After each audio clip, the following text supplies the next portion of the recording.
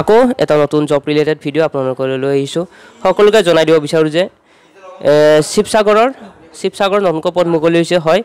Office of the district and session judge শিৱসাগৰত নতুনকৈ পদ মুকলি হৈছে আৰু আপোনালোকে এইখন অফিচিয়েল নটিফিকেশ্যন দেখা পাই আছে। এইখন তেওঁলোকৰ অফিচিয়েল ৱেবছাইটৰ পৰা ডাউনলোড কৰা হৈছে ইয়াতে দেখা পাইছে ডেটটো সোতৰ জুলাই তাৰিখে দুহেজাৰ তেইছ চনৰ সোতৰ জুলাই তাৰিখে এই আপডেটটো দিয়া হৈছে এই নটিফিকেশ্যন আগবঢ়োৱা হৈছে। ইয়াত উল্লেখ কৰিছে যে নতুনকৈ পিয়নৰ পদ মুকলি হৈছে হয়। নতুনকৈ পিয়নৰ পদ মুকলি হৈছে।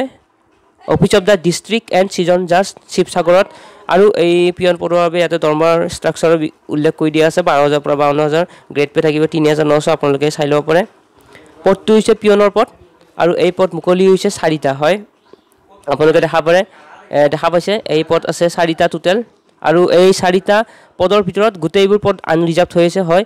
এটা পদো সংৰক্ষিত নাই গোটেইবোৰ আনৰিজাৰ্ভ হৈছে সকলোৱে এপ্লাই কৰিব পাৰিব।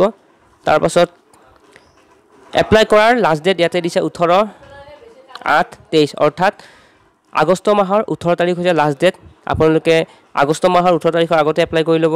এই পদত টোটেল পদ চাৰিটা পদ মুকলি হৈছে সকলোবোৰ আনৰিজাৰ্ভ হৈ আছে। আৰু এটা বয়সৰ সময় লিমিট দি আছে বয়সৰ। যিসকল আনৰিজাৰ্ভ অৰ্থাৎ যিসকল জেনেৰেল কেণ্ডিডেট তেওঁলোকৰ বয়স ওঠৰৰ পৰা চল্লিছৰ ভিতৰত হ'ব লাগিব। আৰু যিসকল O' B C M O' B C তেওঁলোকৰ বয়স ওঠৰৰ পৰা তিয়াল্লিছৰ ভিতৰত হ'ব লাগিব আৰু যিসকল এছ চি এছ টি তেওঁলোকৰ বয়স ওঠৰৰ পৰা পঞ্চল্লিছৰ ভিতৰত হ'ব লাগিব আৰু যিসকল পি ডাব্লিউ ডি কেণ্ডিডেট তেওঁলোকৰ বয়স ওঠৰৰ পৰা পঞ্চাছৰ ভিতৰত হ'লেও তেওঁলোকে এপ্লাই কৰিব পাৰিব। আপোনালোকে চাই ল'ব পাৰে স্ক্ৰীণত তাৰপাছত ইয়াতে এডুকেশ্যন কোৱালিফিকেশ্যন কি কি লাগিব ইয়াত উল্লেখ কৰা আছে।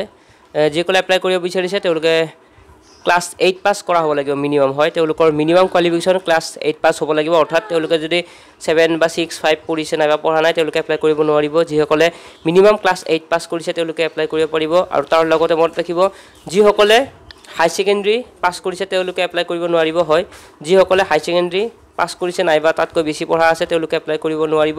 যদি আপোনালোকে হাই ছেকেণ্ডেৰী পঢ়ি আছে নাইবা ইলেভেন পঢ়ি আছে যদি আপোনালোকে এতিয়ালৈকে হাই ছেকেণ্ডেৰী ক্লিয়াৰ কৰা নাই তেন্তে আপোনালোকে এপ্লাই কৰিব পাৰিব। কিন্তু যদিহে হাই ছেকেণ্ডেৰী পাছ কৰিছে তেন্তে এপ্লাই কৰিব নোৱাৰিব।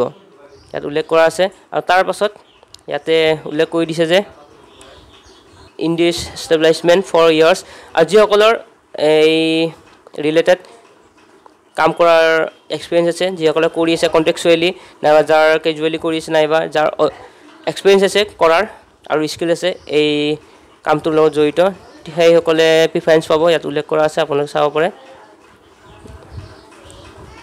তাৰপাছত যিসকলে এপ্লাই কৰিব বিচাৰিছে তেওঁলোকে নিজৰ এমপ্লয়মেণ্ট এক্সেঞ্জ ৰেজিষ্ট্ৰেশ্যন নম্বৰ ল'ব লাগিব হয়। তেওঁলোকৰ এমপ্লয়মেণ্ট এক্সেঞ্জ চাৰ্টিফিকেট থাকিব লাগিব। তেওঁলোকে যদি এতিয়ালৈকে এমপ্লয়মেণ্ট এক্সেঞ্জ নম্বৰ চাৰ্টিফিকেটখন বনোৱা নাই তেন্তে বনাই ল'ব লাগিব। এইটো কম্পালচৰি লাগিব যিসকলে এপ্লাই কৰিব বিচাৰিছে। তাৰপাছত আপোনালোকে এপ্লাই কৰাৰ সময়ত এপ্লিকেশ্যনৰ লগত কি কি দিব লাগিব তাত উল্লেখ কৰি দিছে হয়। এপ্লিকেশ্যন ফৰ্মৰ লগত আপোনালোকে আপোনালোকৰ বয়সৰ চাৰ্টি বয়স প্ৰমাণ কৰা চাৰ্টিফিকেট অৰ্থাৎ বাৰ্থ চাৰ্টিফিকেট দিব পাৰে নাইবা এডমিট কাৰ্ড দিব পাৰে যিসকলে মেট্ৰিক পাছ কৰিছে।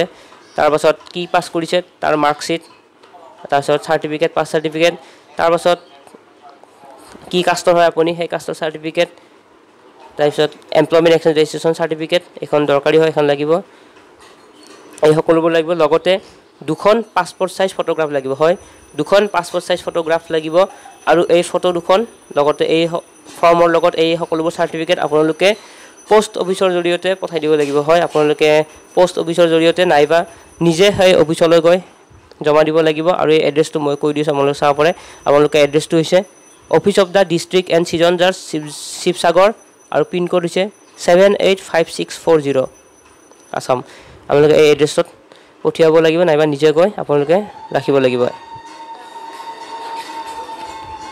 আৰু ফৰ্মখন যেতিয়া আপোনালোকে ফিল আপ কৰিব তেতিয়া মনত ৰাখিব ব্লক লেটাৰেৰে ফিল আপ কৰিব।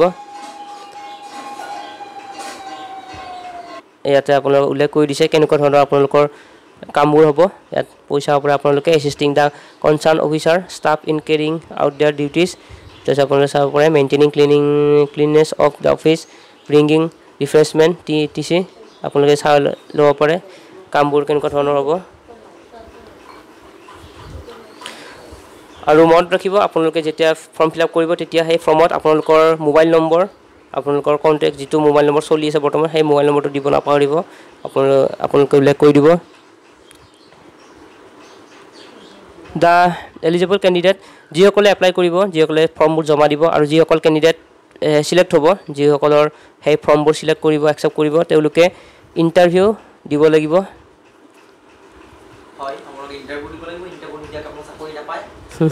নাম চিলেক্ট হ'ব পষ্টবোৰৰ বাবে। তেওঁলোকৰ নাম এই অফিচিয়েল ৱেবছাইটটোত আপডেট দিব। আপোনালোকে এই অফিচিয়েল ৱেবছাইটটো চেক কৰি থাকিব। W dot Sivasagar judiciary dot gov dot in এই ৱেবছাইটত আপোনালোকে এপ্লাই কৰাৰ পাছত চেক কৰি থাকিব। ইয়াতে সকলোবোৰ আপডেট দি থাকিব। আপোনালোকে চেক কৰিব। হাগিছে বুলি কৈছে এইটো উল্লেখ কৰিব নাই। কোনো ধৰণৰ আপোনালোকক কল লেটাৰ আগবঢ়োৱা নহয় ছেপাৰেটকৈ সেয়াই আপুনি এই ৱেবছাইটটোত চেক কৰি থাকিব কিবা যদি আপডেট ল'ব বিচাৰে। তো এইখিনি আছিল। দৰকাৰী তথ্যবোৰ মই আগবঢ়াই দিলোঁ। তাৰ লগতে লাষ্ট এটা মই দৰকাৰী আপোনালোকক কৈ দিওঁ। যিসকল চিলেক্ট হ'ব অৰ্থাৎ যিসকলে ইণ্টাৰভিউৰ কাৰণে দিব যাব তেওঁলোক যিসকল অ' বি চি বা এম অ' বি চি আছে কেণ্ডিডেট তেওঁলোকে যেতিয়া ইণ্টাৰভিউ দিব যাব তেতিয়া তেওঁলোকৰ নন ক্ৰিমি লেয়াৰ চাৰ্টিফিকেট এখন লাগিব। আপোনালোকে এইখন বনাই ৰাখিব। তেন্তে আজিৰ বাবে এইখিনি আছিল ভিডিঅ'টোত। ধন্যবাদ আৰু যিসকল নতুন তেওঁলোকে ছাবস্ক্ৰাইব কৰি ল'ব চেনেলটোক